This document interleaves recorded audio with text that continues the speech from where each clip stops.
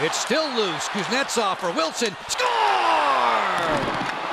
Wilson off an incredible pass from Kuznetsov. Top six production was at the top of the docket for the Caps to get the two points, and that is some play.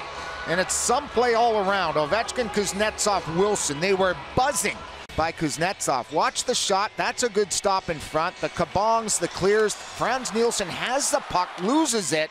And how about that deft hand move right there in the slot to find Wilson, which froze the goaltender, and there was no way Howard could recover.